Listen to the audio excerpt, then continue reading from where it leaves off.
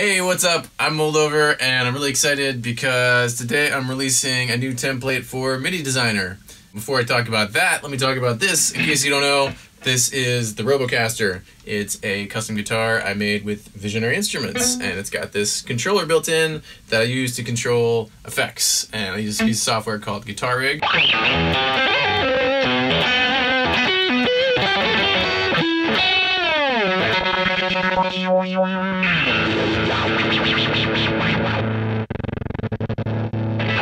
Super fun.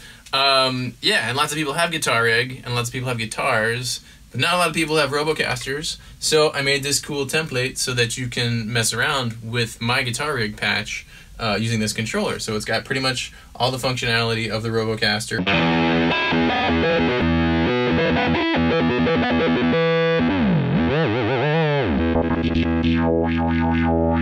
So you can download that, and you can download my Guitar Rig patch, this super dense, interesting, fun kind of thing that I made, and use them with your own guitar. You can find out more about MIDI Designer at MIDIDesigner.com. You can find out more about the Robocaster and other custom guitars at VisionaryInstruments.com.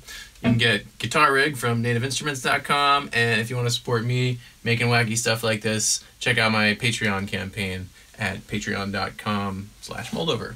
Thanks.